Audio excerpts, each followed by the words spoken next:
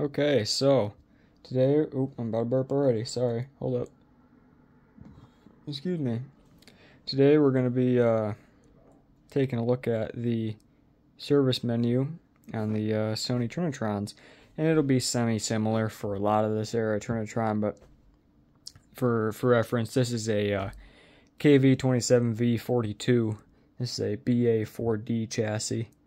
Um, I I believe I'm gonna I'm gonna I believe this was manu- so it was either it's one of two things. This is either from '99 or 2001. I forget, but one of those two. Um, and yeah, so to get into the service menu, and this is just to be a very like layman's overview. I don't know everything. This is just to be what I know, and you know, uh, show me messing with some stuff to try and help you guys out. So to get into the service menu, make sure you got her pointing at you know at your TV, and you want to push display five volume plus and then power. So that's display five volume plus and then power. So we're gonna go ahead and do that right now. I gotta kind of look and see. I'm actually so display five volume plus and then power. And then this is the first time I'm turning this on, so it's gonna take a second to turn on. Uh, oh, hold on a second. I'm getting a phone call actually while this turns on. So there it is turned on, but I'm going to take this phone call quick.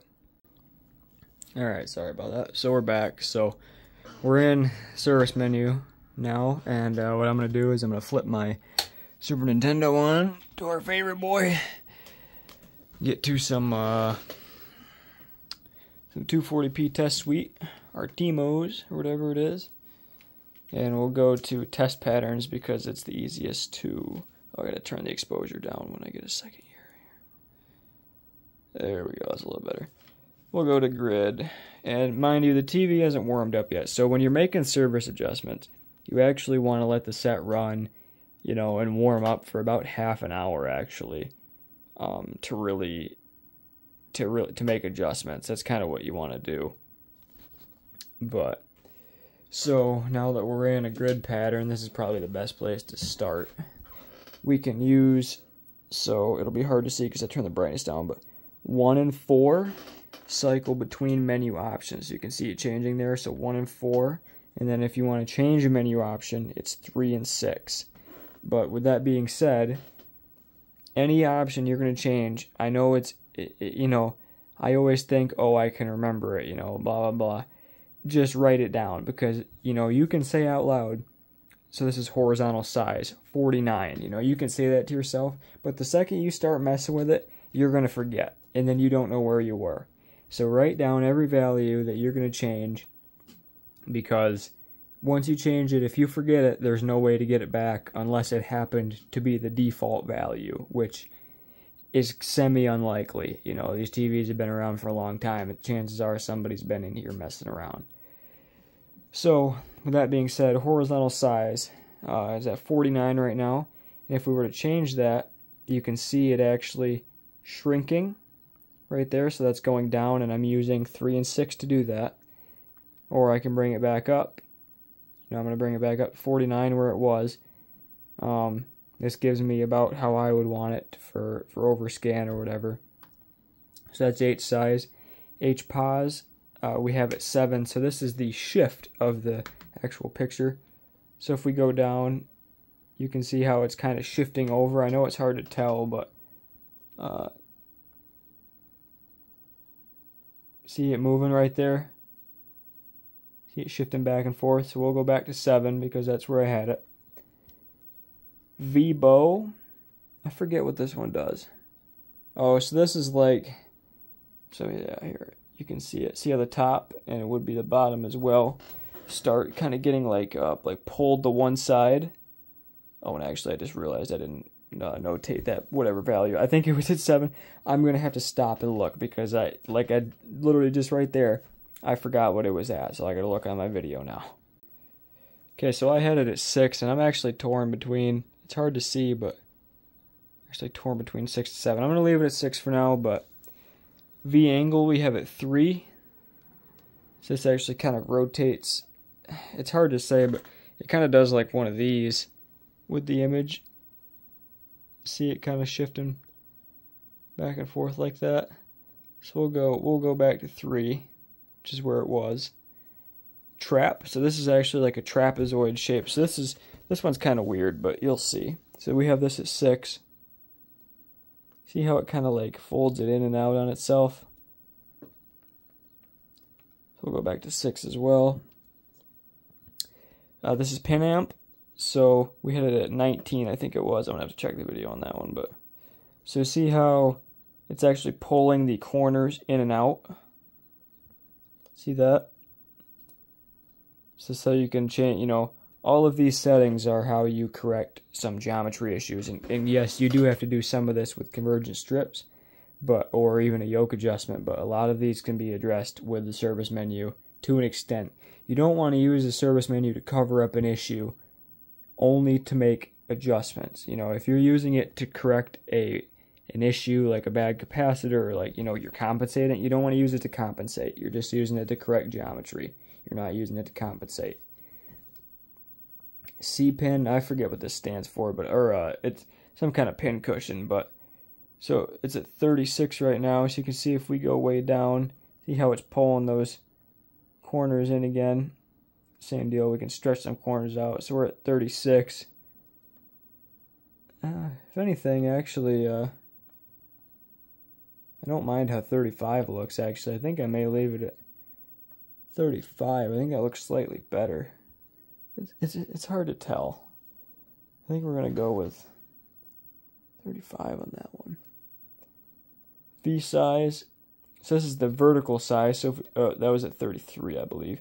should have looked. That's what I get. Um, but if we go way down, you can see the image shrink. Actually, so much so that there's our. Um, I better not go too far. That's actually kind of dangerous. There's our vertical fold over. What did I say this was at? 35? Yeah, that looks about right. Um, if anything, yeah, 35. 35, 36, good. 35 is fine.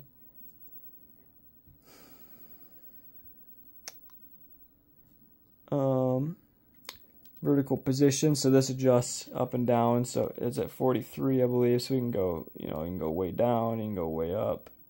See how it's moving, so we'll go back to 43, which is where it was. And if, if anything, I'll just leave it.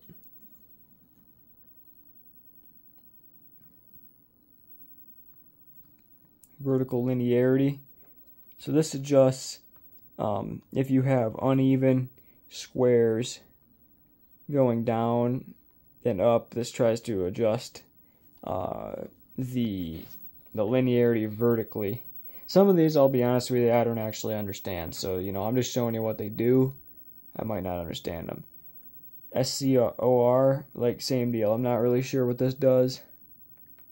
It's doing some stretching and shrinking. You know, I'm not quite sure what it does. I think it was at 6 or 7. I'm not even going to save these settings now because I've already done too much. Oop.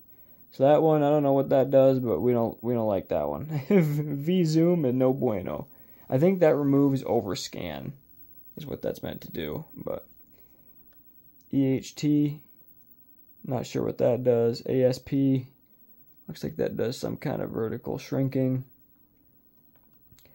SCRL same deal, looks like kind of a scroll. I'm not sure where that was either. HBLK, not sure.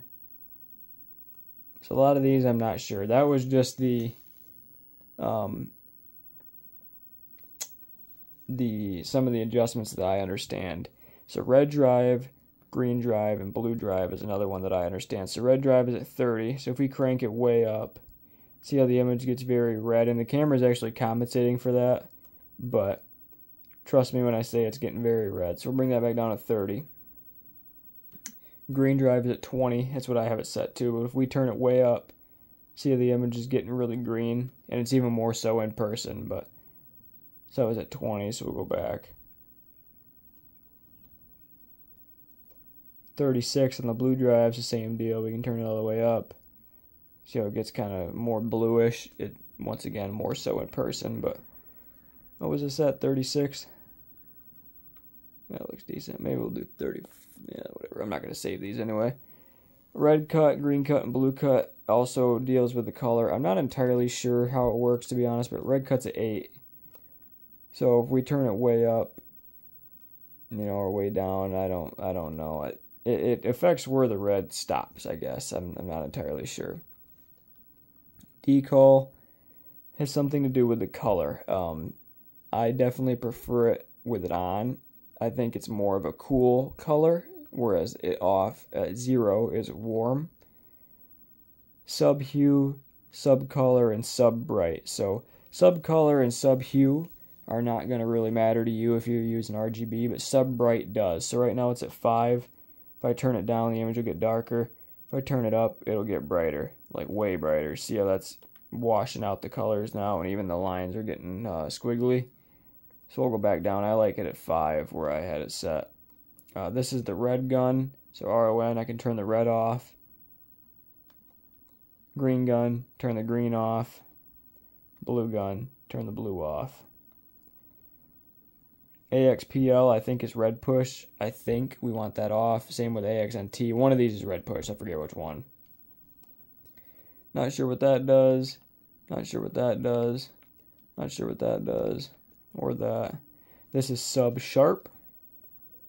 Something else I forget. Uh, this is like something to do with sharpness, I think, as well.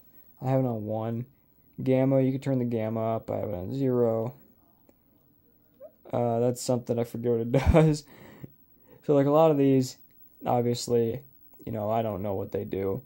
Um, but that's the best of my knowledge. That's what some of the settings do, you know your mileage may vary. That's just what I got. So there you have it. And then if you want to save the settings that you change, you have to do this if you want to save them. You click, uh, let me turn the brightness back up. Hold on. You click focus. You're going to click muting, and then something's going to pop up on the screen. I'm not going to do it because I don't want to save these. You click muting, and then when that thing pops up, it'll say write in the top right corner, I believe. It'll say write, um, like writing is like you're writing something down. Click muting, and then when it says write, click enter, and that will save your settings. Do not immediately shut the TV off. Give it about give it about 15 20 seconds for that to fully write, make sure everything's good, and then if you want to shut it off, go ahead and shut it off. Um, but do not immediately shut it off. It even says that in the service manual. Don't don't do that.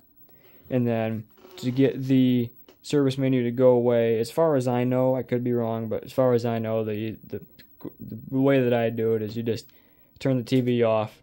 Next time you turn it on, it won't be there. Um, and what I'm gonna do is actually unplug my set and uh, press the power button and plug it back in. That will ensure that um, those set, those ch- those changes that I made will not save um, because we didn't save them. But when the TV's in standby, so it's still plugged in, even though we didn't save them, those changes are still in effect. Um, but once we unplug it, it will wipe those. But if you save it by doing the muting and then enter, by writing it to the to the chip or whatever it is, it will stay after power loss. So, yeah, there you go. That's that, and uh, that's that's as much as I know with the service menu. And, and you know, granted, oop, you can see me, I ain't got my shirt on. We're to have whoopsies. Granted, I don't know much, but I know more than somebody who knows nothing. So, uh, you know, thanks for watching, and it's worth noting for the future of this channel, uh, I, I, really want to keep posting this kind of tech repair. I better shut that Nintendo off tech repair kind of tech, you know, CRT vintage technology oriented stuff. I really enjoy this stuff. Uh, I'm gonna try and keep posting um, stuff like this. So you know, if, if, you're interested in that stuff, I'm gonna try and keep it up the best I can. You know, I can't. There's only so much I can do, but uh, I really get a kick out of this, and I know other people do as well. So that being said, thank you and uh, peace. I guess.